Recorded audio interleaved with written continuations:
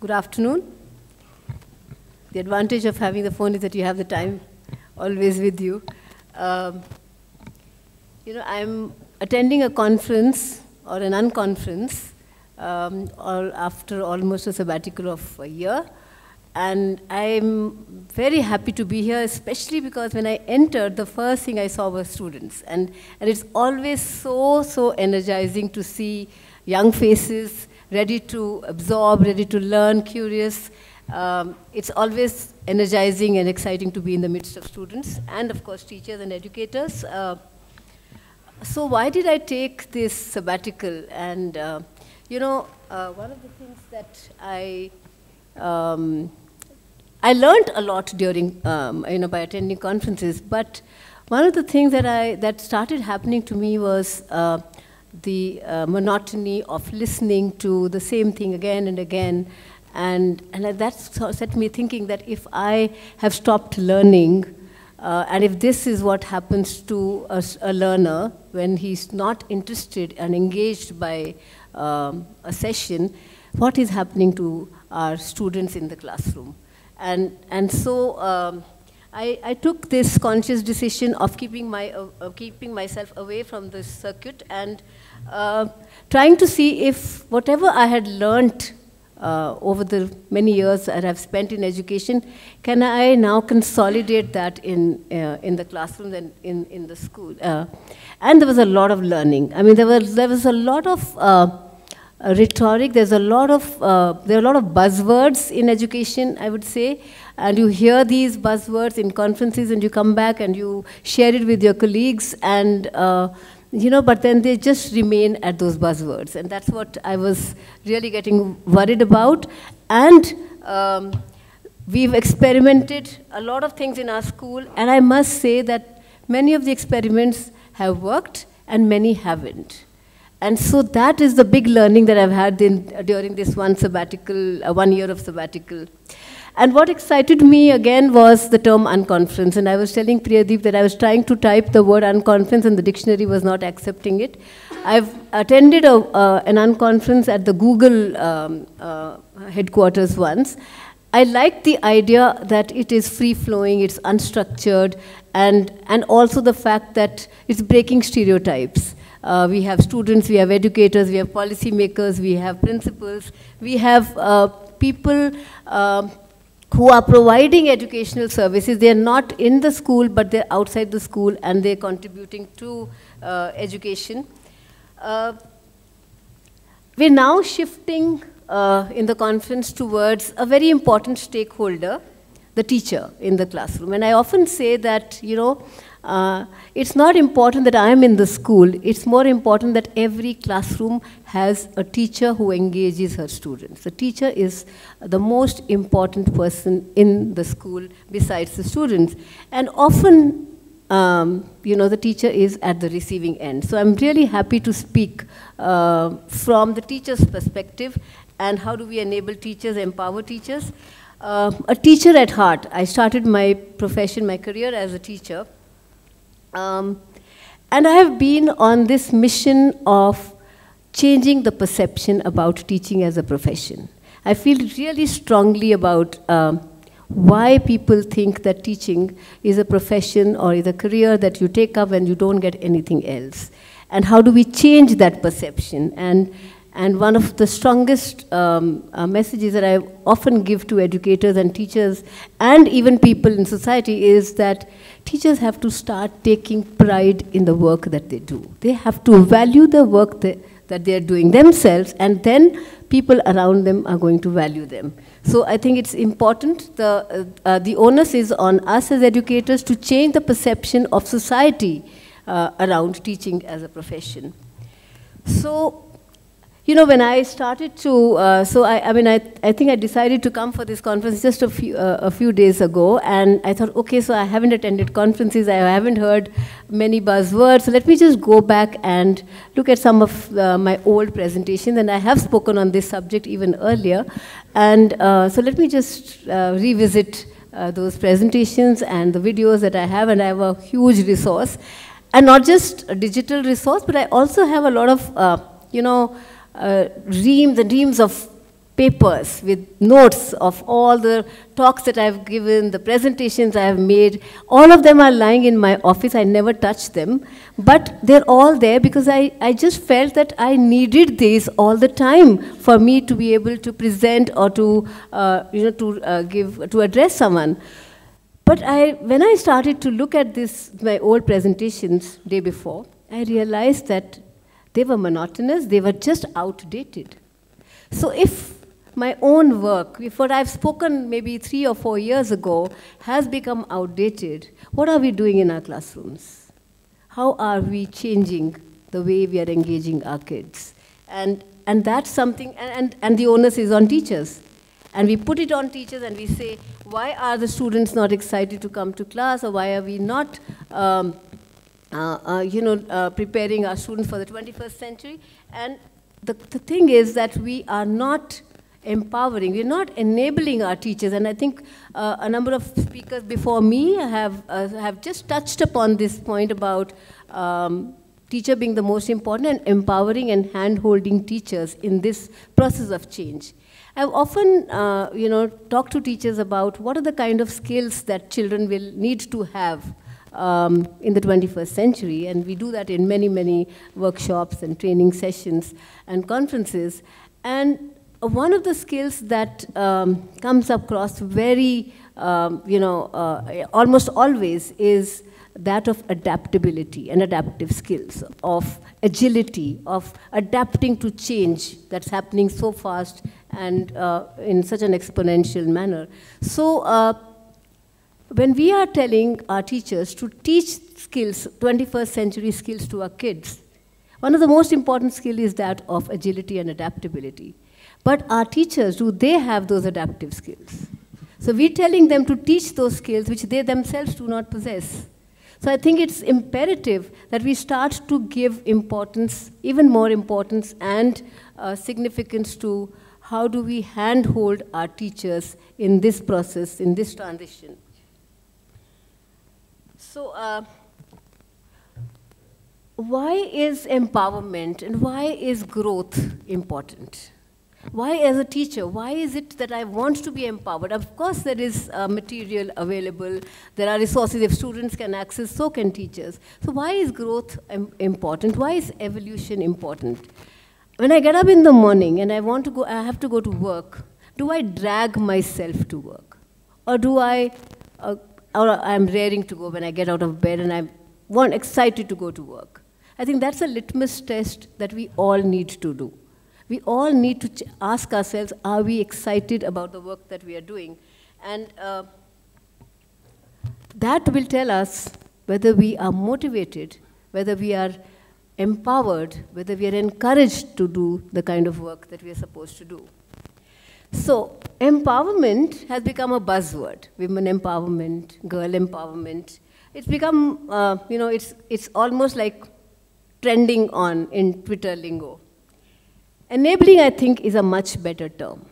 Because empowerment, sometimes, when you give power, it can be misused. But enabling a teacher, I think, is a much better term.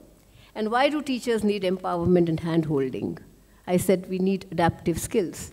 There's another buzzword, which jargon which I heard a couple of years ago. It's called the VUCA world. We're living in a VUCA world, a world of volatility, uncertainty, complexity and ambiguity. Now, all of them are slightly different from each other, but all they mean is that we're living in uncertain times. We're living in times where we don't have clear answers, so it's ambiguous, and we don't know how to navigate these times.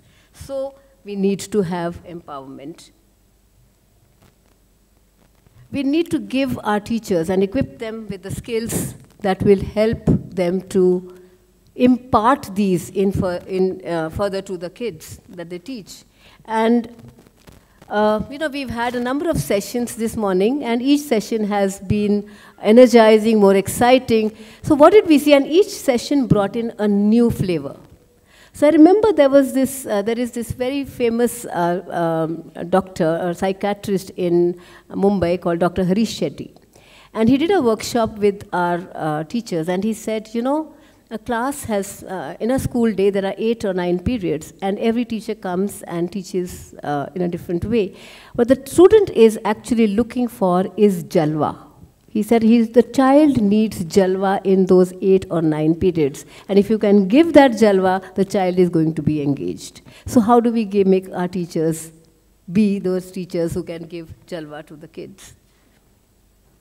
So I started to think about uh, teacher training and professional development. Because if we have to give these skill sets, it has to be imparted to them through some professional development programs, through workshops, through seminars, through conferences. Um, and so, what, do, what does a typical PD program look like for a teacher? I have been part of these workshops myself as a teacher. I have been part of the workshops uh, when we've organized these for, uh, for our teachers. And I felt that there are certain do's and do's, don'ts that we forget. Okay? Uh, we say make teaching, make learning joyous and happy for our children and engaging. Do we do that when we teach our teachers? Most professional development programs are top down, are preaching, are instruction led, sometimes paper pencil. So they're asked to fill up worksheets. Okay? Now, if that is the way we're going to engage our teachers in professional development, how are we expecting them to be more engaging in the classrooms in turn? Okay?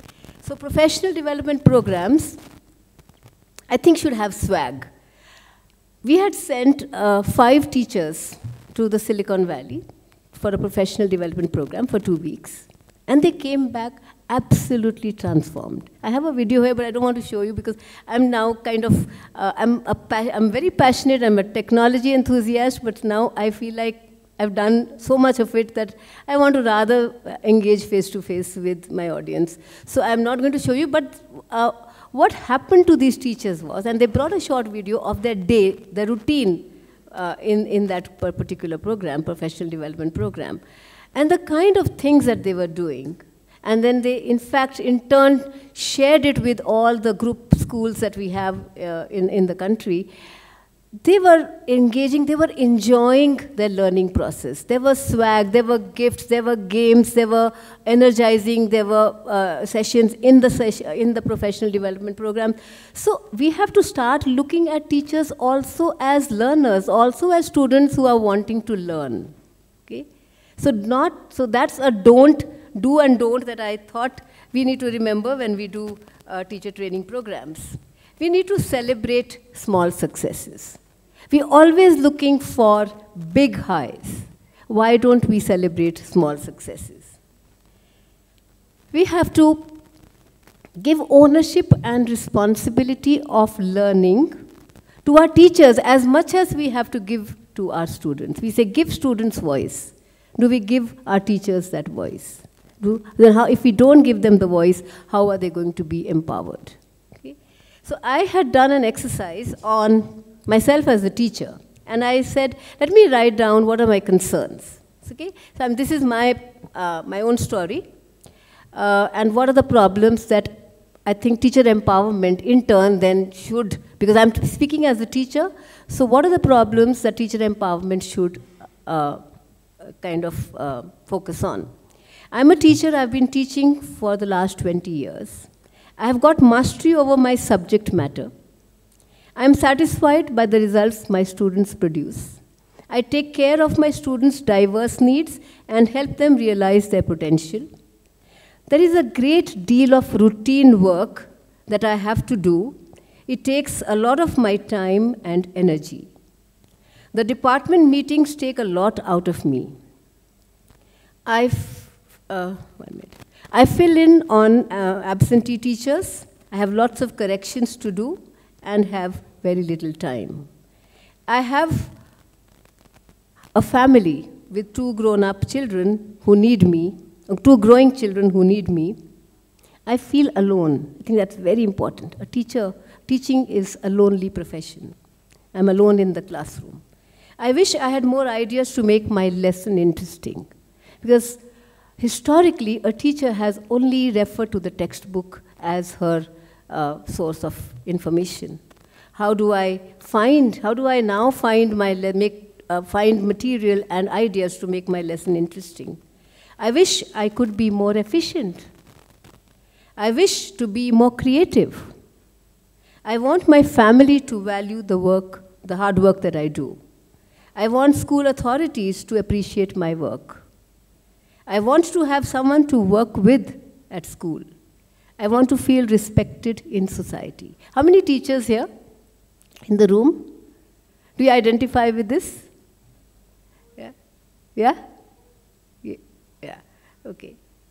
One minute.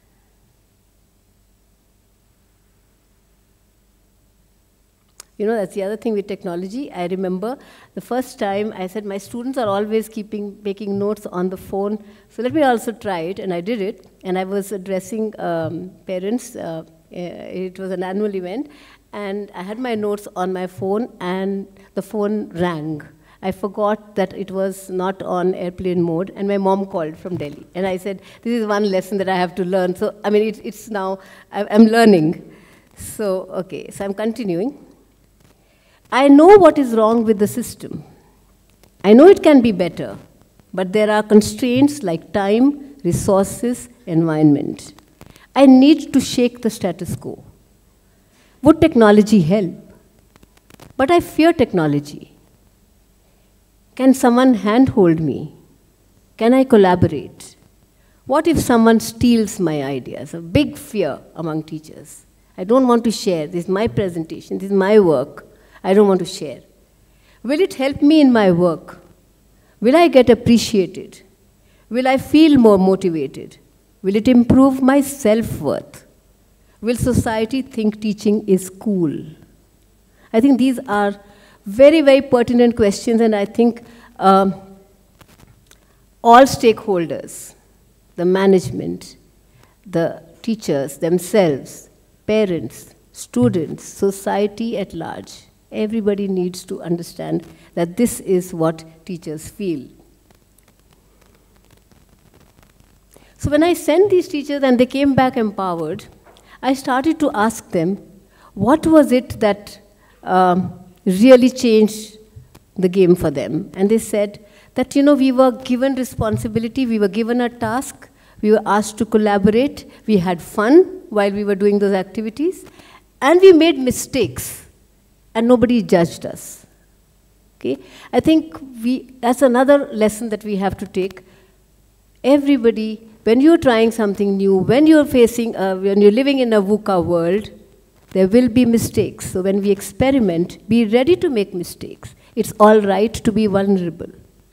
It's all right to uh, fail and then get up again and say, and accept that this was a mistake and let's move on. Let's learn from the mistake and let's move on. And I think we don't do that enough with our teachers. So uh, I think uh, technology, in, in, in my case, technology came as a big boon for us in our school. This is the year 2010 when CBSE introduced the CCE system. And we realized that the workload of teachers was going to increase many-fold times. Okay? They had to not just assess children continuously over a series of tests, they had to evaluate them on many, many parameters, so it's comprehensive evaluation. And it was not just one teacher evaluating one child, it was five teachers sitting together to evaluate one child, which meant that teachers needed to sit together and collaborate and uh, you know, evaluate the children, which meant a lot of paperwork, a lot of time spent in sitting together and doing it. Okay? And where was the time? Already, if I've read that's the, the kind of routine I have, where do I find the time to do all the work that is expected from me in this new system where the CC is being implemented? And then that is when I said, there has to be some solution. How do I make my work more effective and more efficient. And that's when we turned to technology. And what I learned was that technology is not to be feared. Technology is something which enables, which, which actually becomes like a, uh, something which creates a level playing field among teachers. And there were students who were well versed with technology, who started helping the teachers where they were faltering. So what happened in the process? Did teachers get, did the relationship between the teacher and the student get dehumanized? No. On the other hand, the relationship, the bond between the teacher and the student became stronger because now there was a kind of a role reversal that happened. The student became the teacher and the teacher became the student. I have images and impressions of a Hindi teacher sitting with a laptop and not knowing how to figure out the mouse, how to work it, and there was this older student helping her, holding her hand and making her navigate uh, the cursor. So those, were, those are moments which I think we must cherish. In this whole process of learning, there's a lot of churning that happens. There's a lot that, uh, uh, uh, you know, that there's lots that we don't even imagine the benefits that, that one can see. So according to me, technology, the myths about technology need to be broken. Okay? teaching technology also then empowers the teacher because the teacher now has much more, he's more effective, more, more uh, efficient, and is able to, uh, uh, you know, feel that she's doing a work, a work which is using technology. And so what happens? I remember what happened with the teachers. When they first started to use the Google Drive, at that time it was called Google Docs, they went back and shared it with their family. And they said our children were shocked and they were surprised that we knew so much when we could share a document with uh, our colleagues. Okay? So not only did work become easier, they also started feeling a sense of self-worth, pride in the work they were doing because at, at home they were getting much more respect from their children and their husbands. So I think you know, this whole myth that we have about technology will replace the teacher, that's something that just got dispelled when we started to, and we got our hands dirty. That's another thing, that when you have to learn something, it's, it's important to get your hands dirty. It's important to make mistakes because that's how, uh, you know, you evolve, and that's how growth happens. Okay, and there are growing pains that we all face. Okay? Going forward, there is just one last thing that I want to share. I attended one conference in the US two years ago, and they talked about something called micro credentials for teachers. And this is my message to all the young people here who work with technology and platforms. I thought this is a brilliant idea. This is a platform, an online platform where teachers can upload the kind of work that they are doing uh, in their classrooms. So they're doing a lot of good things. We, talk, we heard about that. There are a lot of good things happening in the classrooms if they can document it, if they can take a video, okay, and then just upload it, and there are certain rubrics they have to follow. And it could be any capacity, any competency that they want to work on, and they get evaluated on those mi micro credentials, and they get digital badges. Okay? Something like what Khan Academy is doing for learners. I think something like that, if we can do for teachers, and it's working magnificently in, uh, in the US, I'm sure that in India, this would be a great uh, platform for us to also have. Thank you so much.